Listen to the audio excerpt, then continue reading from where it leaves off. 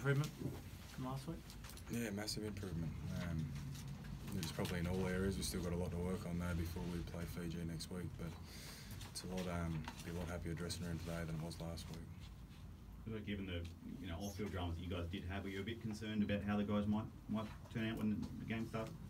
Nah, not really, because of the way they trained the last three sessions. They've, you know, they moved on from that pretty quickly, and um, the way they've trained the last three sessions gave me some real confidence going into today. But you know, obviously after a tough loss last week, you you're always a bit uneasy about how it's going to go the week after. So for them to turn it around is a big credit to the players out there today and the whole squad who um, contributed to today's win. Is that just important, I guess, overall for the confidence of the, the group after last week?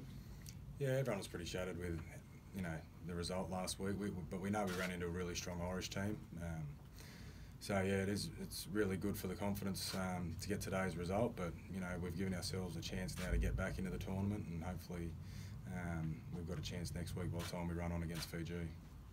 Will Campo get his homecoming next week? Yeah, I hope so. You know, he's um, he was pretty close to playing today again, so hopefully, um, you know, we can we can rehab him up and get him out there. It would be a really special occasion if he can get out there and play for us next weekend. Did you like what James did at six though?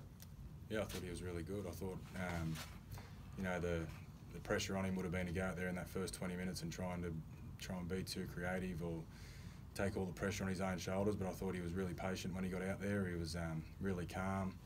Uh, he had some really classy touches, and we sort of knew that was going to happen by the way he trained during the week. He was he slotted straight in there. So for him to do that um, just shows what a class player he is.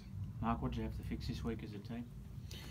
Oh, look, we, we, we fixed up our start this week, um, which was a lot better than it was last week. We, we still got to work on uh, our completions for next week. Um, you know, we, we dropped far too much ball, and um, you know, if we do that against Fiji, then uh, you know that's not going to work in our favour. So um, know, we've got to fix up um, you know that first and foremost. And um, you know, I thought it defensively we're, we're, a lot better than we were last week. Um, so you know, if we can keep working on that, um, you know, it's going to be a good, good clash. Do you guys train to scouting mode now and watch the next game, or? Uh, I think we're just going to enjoy the moment, mate. After Yeah. you know losing last week and and um, tough few days, we're just going to enjoy this moment when we get back in the sheds, and you know hopefully we can get back and watch it on TV and and you know see where we sit at the end of the 80 minutes. Your team played like they looked like they were enjoying themselves. Did you feel like that out there? Yeah, look, we um, we're, we're enjoying our, each other's company. There's no doubt about that. We, we've, we've we've got together and become really close in the in the last few weeks. And um, you know, you always enjoy yourself when you when you're scoring tries. And you know, it's um, you know, it's good to see that um, some young blokes are playing well and enjoying enjoying themselves and got plenty of energy. Um, yeah, so it, it was it was enjoyable out there. Cameron, what, what did you think of Joey uh, Tramontana's performance? Oh, I thought he was outstanding. You know, he's he'd be close to one of the best players on the field today, and not just because he scored a few tries, just because of his effort. Um, you know, for a little guy there, he's his effort's unquestionable. Whether it's at training every day or in the gym or, or when he gets out on the field, he's just one of those guys you love coaching, and I was really happy for him today to get a start and um, you know play the way he did. Are you aware that Italy became like a full member of the federation this week? What- What does that mean to everybody involved?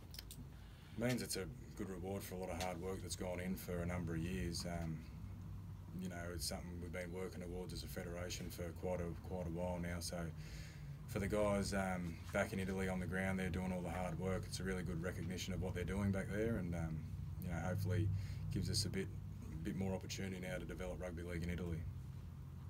Mark, just how pleased were you with, with James and the way he's able to put it, the, the off-field dramas aside and, and just focus on footy? Yeah, re- real, really pleased for him. Um, you know, there's, there's no doubt, and it was uh, you know disappointing.